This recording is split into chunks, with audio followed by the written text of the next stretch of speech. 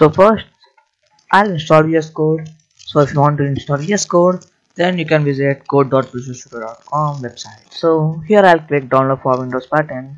If you are working on other platforms such as Mac OS or Linux you can select this option and select Mac OS or Linux. So now I'll click download for Windows and this will take you to download page. So the setup file is of 76 MB if this download button doesn't work you can select the download, uh, direct download link button. This should work. So it's installing. And I'll quickly run the setup file.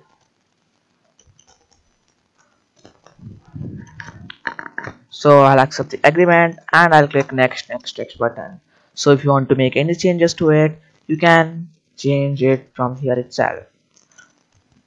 So you have to check this for option so so the first option adds open with vs code which opens the folder or a directory in the vs code.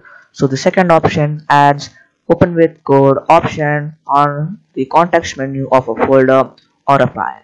And the third option and fourth option is very important. And you can also create a desktop icon from here itself. So I don't want any desktop icons I'll click next and install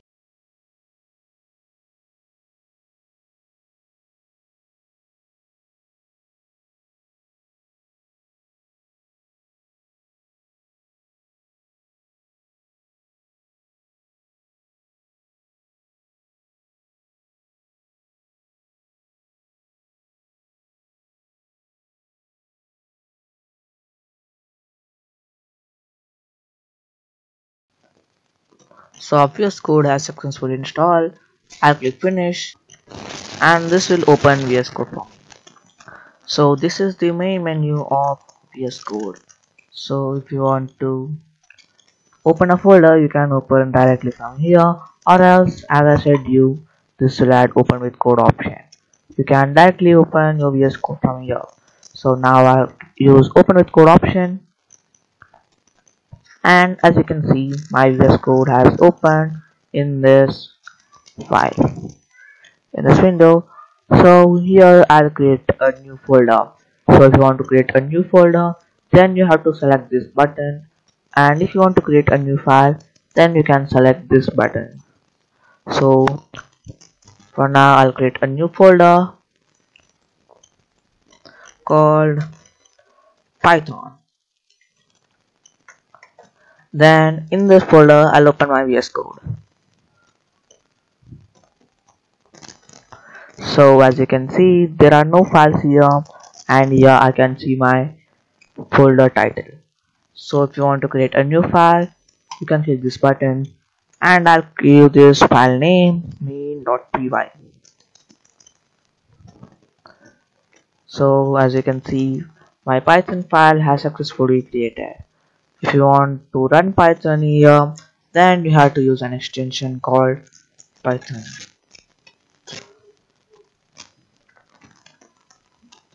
So i'll install this extension.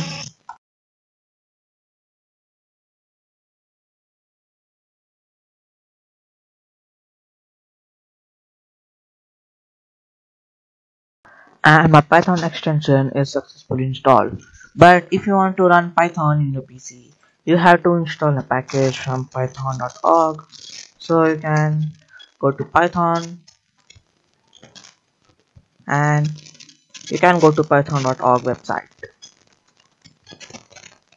And you, have to install this python setup file and run it.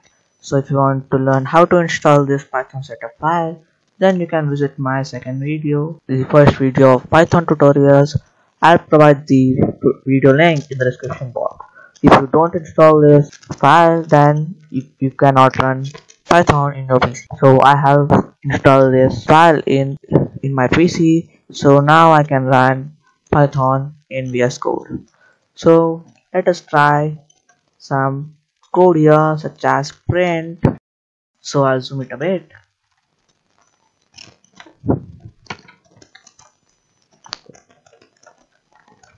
print hello. And I'll save the document. And run the code. And as you can see I get hello here. So our python code is successfully working.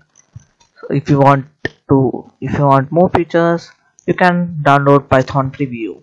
So this will add preview right side of your python window. But I don't want this extension right now. I'll install Tabnine for auto completion. So that Tabnine such as this.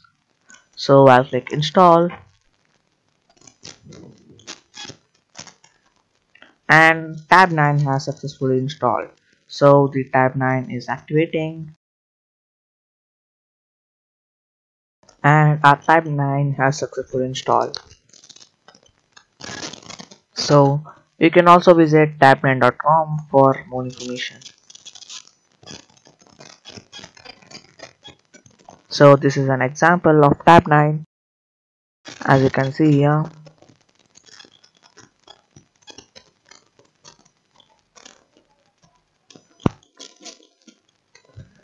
So I'll close this window.